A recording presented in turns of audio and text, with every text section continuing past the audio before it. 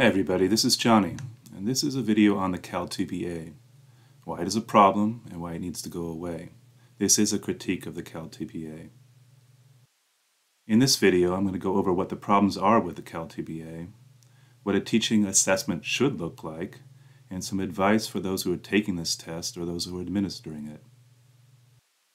Let me tell you why I'm doing this.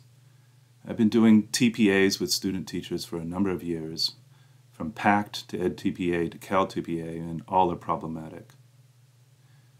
I'm a lecturer and a teacher educator at a Tier 1 research university.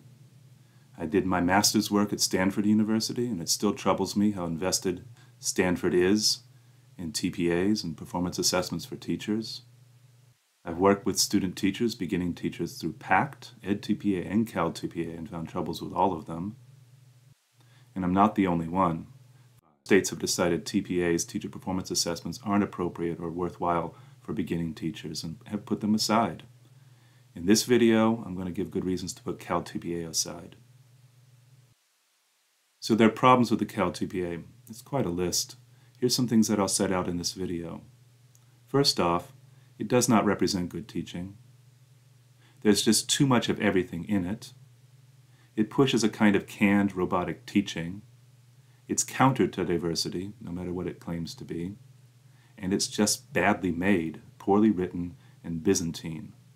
I've been to Istanbul and didn't see anything like this there.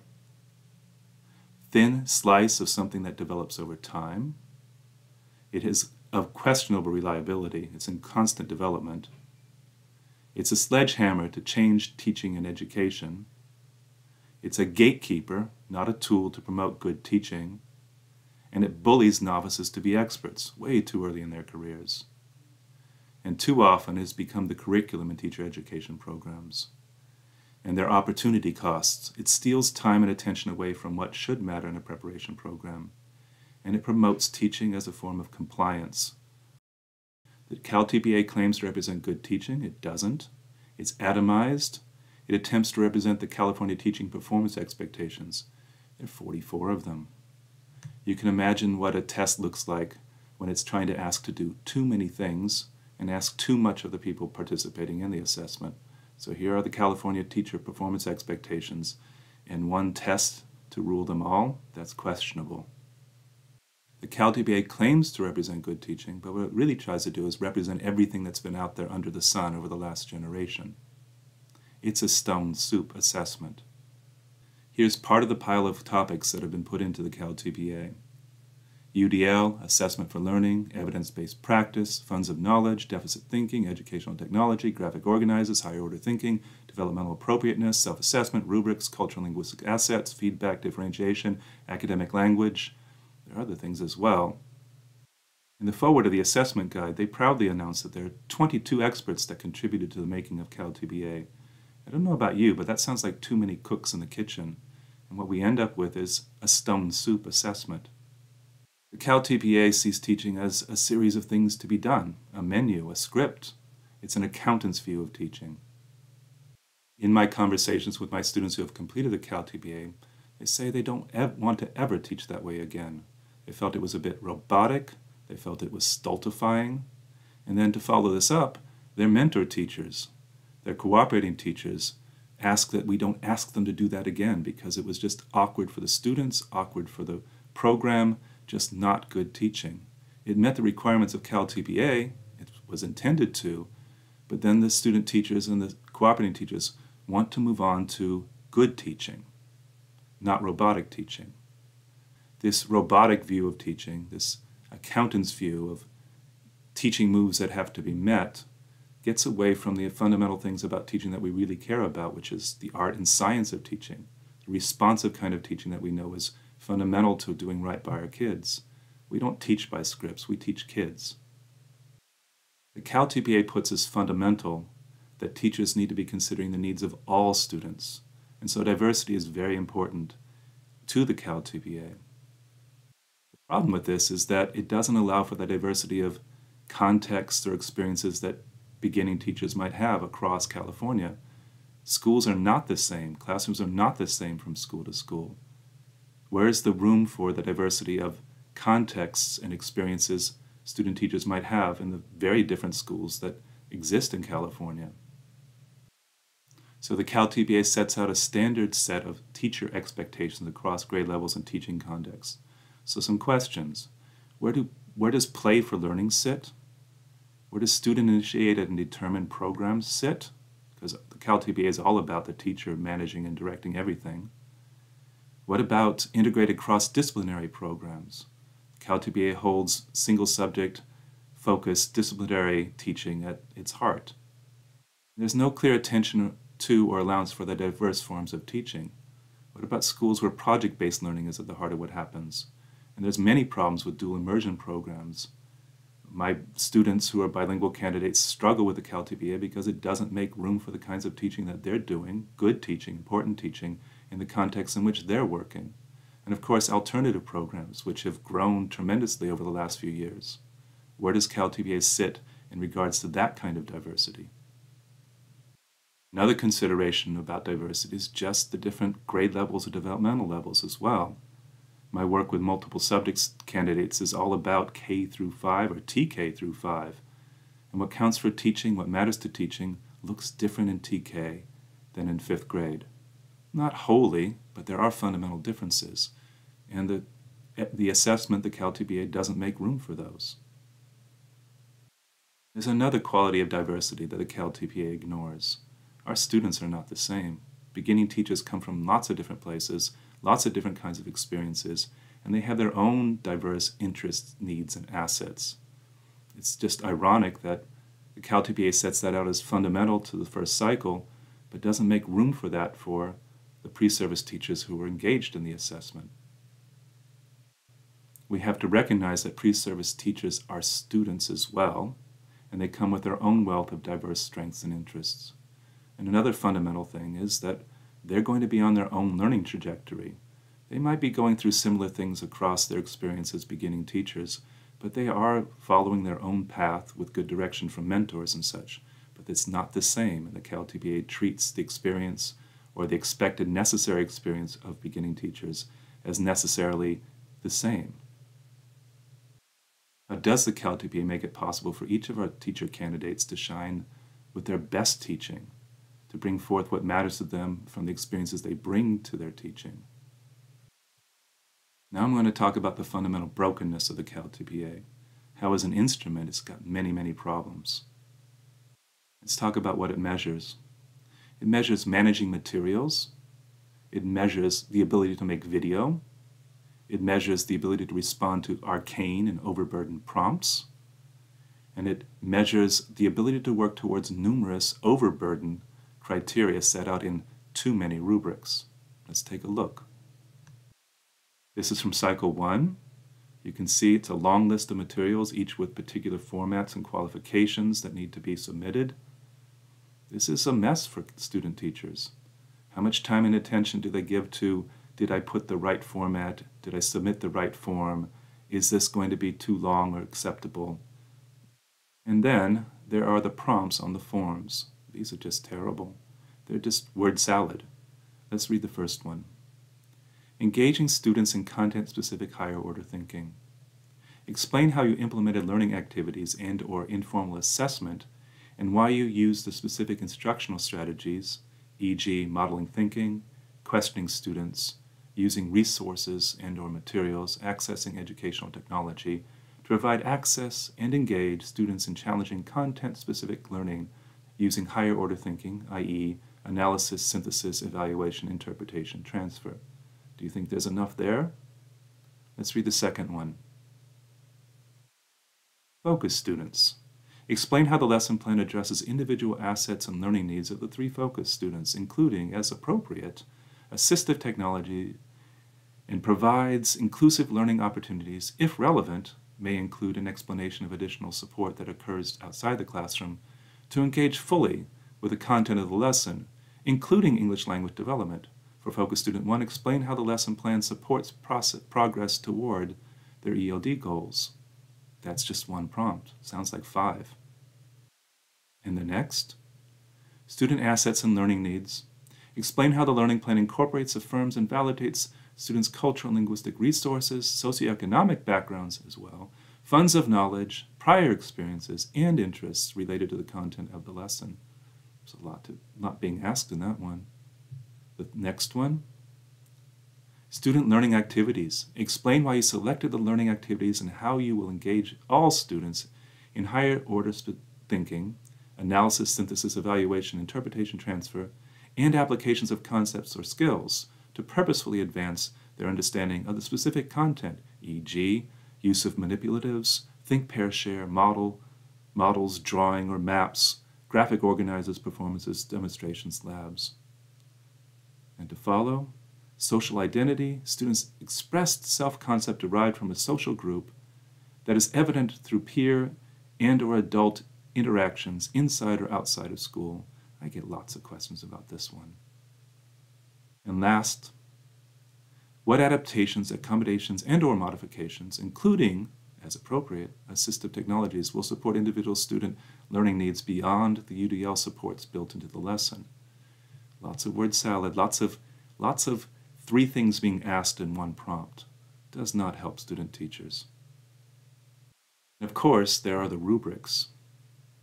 Pre-service teachers need to understand that only level 3 really matters, and that each of the criteria set in level 3 must be met for that score to be attained. Let's read this one from a level 3 criterion.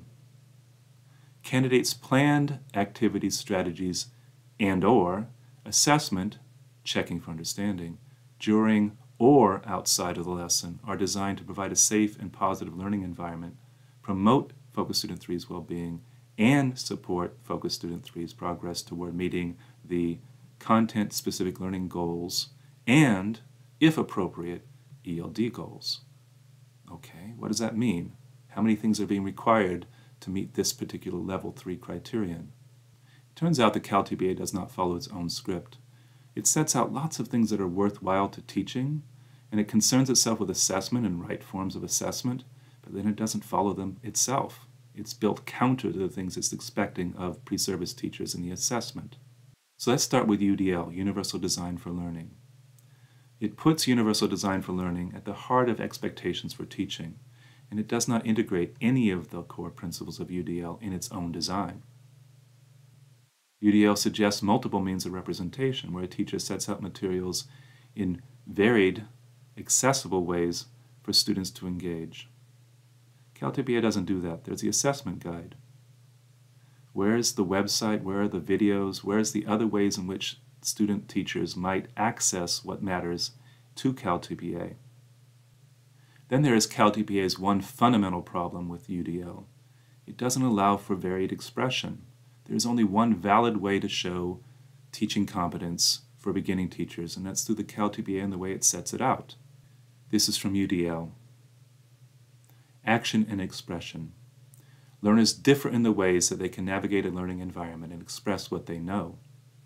It should also be recognized that action and expression require a great deal of strategy, practice, and organization. And this is another area in which learners can differ. In reality, there is not one means of action and expression that will be optimal for all learners. Providing options for action and expression is essential. CalTPA doesn't do this. CalTPA sets itself out to be a reliable measure of teacher performance. It is not. It's a high-stakes test. One lesson or one set of lessons is required to represent one's teaching. We know that teaching matters over time, it changes over time. We get better and we improve, but just one instance or one set of lessons to represent one's teaching is not sufficient. Fundamentally, it does not reflect growth or change over time, only instances. Any learning, especially professional learning, should be measured over time with opportunities for learning from mistakes and ongoing reflection. Teacher performance assessment must be focused on development, not high-stakes singular measures. When we began our work with CalTPA in my program, it was promised that CalTPA was going to be formative in the way that EdTPA hasn't been, and we haven't found that at all. It's a high-stakes test. CalTPA frames assessment essential to a continuous improvement cycle. That's at the very front of the assessment guide, this continuous improvement cycle. but then it doesn't do that or doesn't participate in that activity for beginning teachers. Essentially, it takes just a narrow slice of a beginning novice teacher's teaching experience to make judgments about the whole of their teaching or their potential. That's not all right. Then there's a question of reliability. CalTPA continues to make changes year after year. I had the unfortunate situation of having all my materials for CalTPA ready to work with my student teachers in August, and at the end of the month, beginning of September, CalTPA changed things. Not fair to instructors and not fair to beginning teachers. If CalTPA claims that it's going to be a reliable measure of teacher performance, then it needs to be reliable. It needs to be constant, and we need to be assured year after year of what to expect. I'm going to set out some of the most fundamental flaws in CalTPA. It doesn't practice what it preaches. It sets out pedagogical activities and practices that are worthwhile, but then it doesn't incorporate them or follow them itself. The CalTPA requires beginning teachers to use feedback in their teaching to improve student performance. Feedback should be specific and doable. It should offer clear direction for improvement. Candidates who fail the CalTPA receive abominable, terrible feedback, just completely worthless. Doesn't do any of the things required of good feedback. Let me share this story with you. Any of you who work in a program will know this story because you've heard it from your own candidates. Failed my first CalTPA. My university makes us take an online seminar class to solely focus on completing the TPAs for California. I have two professors that gave us feedback and let us know when we are ready to submit because they compare our work to the rubric. They gave me passing scores, and I've been getting glowing reviews from my master teacher and my university supervisor. I thought I had it in the bag. I received my results from the first cycle last night and was surprised to see I got the lowest score on the video portions. I'm still in denial. I'm angry at my professors for making me believe that I was ready, and I'm depressed, depressed because I've been on this journey for years and it seems that it will never end. I have worked with children for 15 years in other areas and found my life's calling as a teacher. I'm supposed to finally graduate this February at 34 years old, and now I don't know what the hell is going to happen. I was extremely proud of my video clips. My teens were on point and fully engaged and responsive. To top it off, the report I received didn't have meaningful feedback. Nothing specific referencing my actual work, just some copy paste crap. I paid $1,000 for that required class and $150 for the cycle. I feel like the school needs to take responsibility for this, but I doubt they will. I'm just so heartbroken because I'm dying to be a teacher despite all the negative aspects that are attached to it. I still have to work on my second cycle and somehow fix the other one and pay for it again. Rant over, I'm just looking for someone that understands how I'm feeling right now. Lots here, and some of it I'm going to go over in detail in a moment. But do hold on to this part. To top it off, the report I received didn't have meaningful feedback. Nothing specific referencing my actual work, just some copy paste crap. I had a student teacher last year who didn't pass the CalTPA Cycle 1. And as required, I sat with her for an hour or two going through her materials to say what was going on with it and where she might have missed something. And I'm usually good at that. I know a lot about the CalTPA, lots of good work I've done in CalTPA with my students. But I could not find anything. And it was struggle for me because I'm sitting there after two hours and I essentially tell her, you did everything right. You should have passed. And she's so frustrated, like, well, you know, I didn't get a passing score. What do I have to do now? And then we decided, she decided, to send it in again and get it rescored. Most folks won't do this. Most folks will go back and redo and spend too much time trying to make it right again. She did, and she got it back, and she got a passing score. She had to suffer through having got the wrong score, gotten the wrong score to start with, and then spend hours with me trying to find out what she did wrong when in fact she hadn't. And of course, the fundamental thing is, with her first score, the failing score, the rubric and the response, the feedback, had no information in it. It was all about a cut and paste job straight up from the rubrics themselves. No specific feedback that helped her to improve or to give her direction about what was wrong. A complete failure in feedback by the CalTPA. Now I'm going to share with you why the CalTPA is so fundamentally flawed. It starts with its history. Its roots are in No Child Left Behind. Back in the day, No Child Left Behind was built to make schools better, beat them into shape through assessment. Schools were going to be punished if they didn't have the right kinds of scores. Schools would be reconstituted. It was all about assessment to beat education into shape. Out of that became, came teacher performance assessment as well. We weren't getting good enough teachers. So what do we need? We need some kind of teacher performance assessment that will limit who gets into the profession and make possible better teachers. So it's really fundamentally rooted in, CalTPA is really fundamentally rooted into in this bad thing. Out of No Child Left Behind, the teacher performance assessment that first started it was PACT. Then EdTPA came along through the Stanford folks, and California decided to make its own, supposedly better, CalTPA, but it's still rooted in that one bad thing. It's an assessment as a hammer to make change in education. The problem with this notion is that we've come to understand assessment much, much better since No Child Left Behind. Assessment should sit alongside our teaching as a means and a tool to understand it better, to, to better by our students. But it only works that way through reflection and ongoing assessment, not the singular punitive kinds of yes, no, you're good enough to teach or not teach measure that TPA sets out. CalTPA is about making or breaking beginning teachers. It doesn't offer itself as an assessment to learn from, to make teaching better. It's one off, it's high stakes. Because it's so firmly rooted in no child left behind notions of assessment, it's got a deficit stance. It ironically penalizes candidates for any suggestion of deficit thinking that was built in response to notion that there are just too many bad teachers and this needs to be fixed. It's a gatekeeper. CalTPA does not set itself out as a formative tool, a guide or a tool to find one's way to better teaching. It's simply a gatekeeper. And it was built around not letting bad teachers into the profession. And everybody has to suffer through that deficit notion of teaching as they move their way through CalTPA. CalTPA requires novices to be experts, this has been one that's been most difficult for me over the years.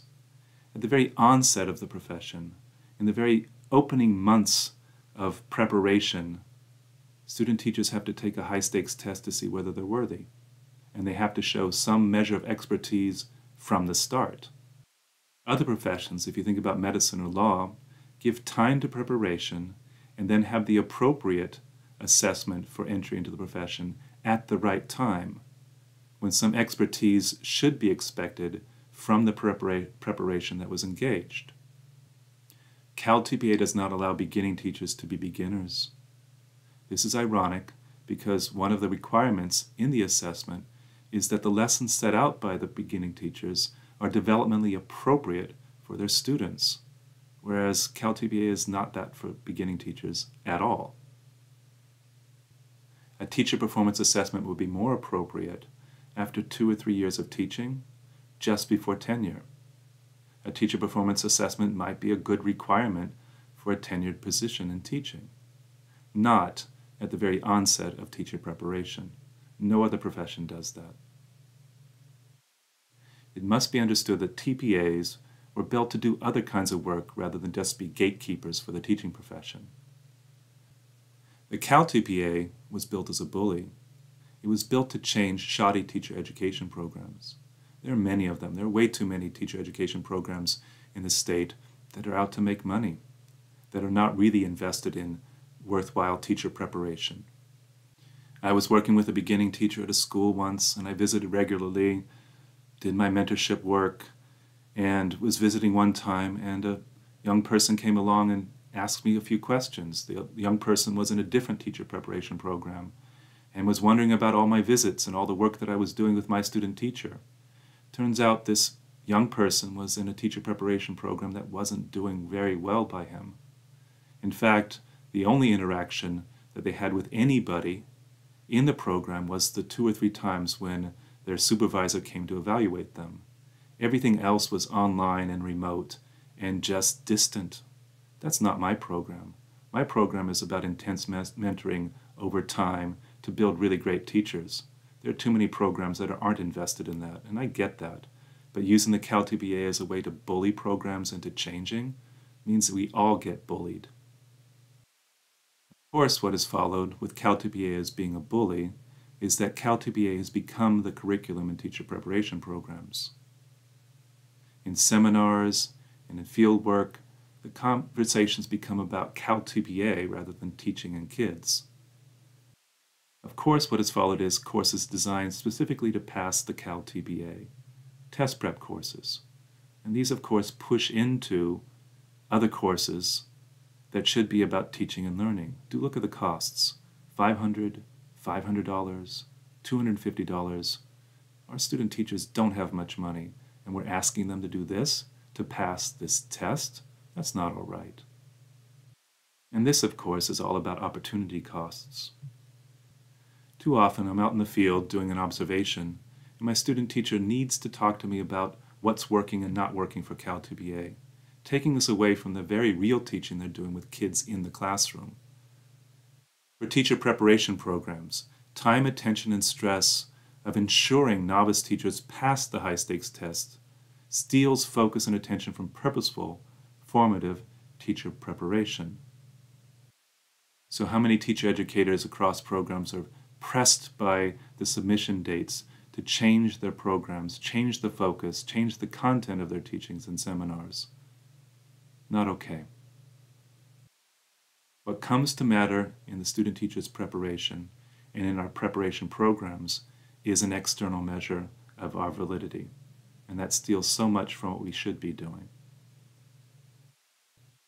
So, what should a teacher assessment do? It should start by informing novice teachers about their strengths and areas to grow, and it should offer direction and true feedback. It should be an assessment for learning, not just a measure of whether you are suited for the profession or not at the very beginning of your career. It should be framed in actual, genuine expert practice, defined by experts in the profession. It should be defined by professionals not by a committee of 22 trying to hit every political mark and trying to incorporate every salient or interesting educational topic of the last 20 years. It should be about teacher expertise defined by teacher experts in the profession. It should recognize that teachers do not come in one mold. There's lots of ways to be a great teacher. Great teaching comes from the experiences, gifts, passion, and preparation each teacher brings to their work. Hold true to the UDL considerations, broaden what counts as representation of good teaching. It should understand that expertise comes through time and experience, not through a cram course you pay money for. It should be continuous, defined by developmentally appropriate milestones from novice practice to expert practice, not a single measure at the very beginning of your professional work. It should be consequential at the right time, understanding that moving from novice to professional takes time and should not be a gatekeeper set before beginners in their larval stage, just as they're starting out. It should be a resource to teacher preparation programs, should give shape to the ongoing preparatory formative assessment that should be a part of any program. It should inform the curriculum, not own it, CalTPA seeks to colonize teacher education programs. Not all right. It should hold central the art and science of teaching, not try to be all things to all people with notions of what matters. And lastly, teacher assessment should be integral to teacher preparation, not external or extraordinary, not require more money, not require additional courses. Teacher assessment should not be the CalTPA.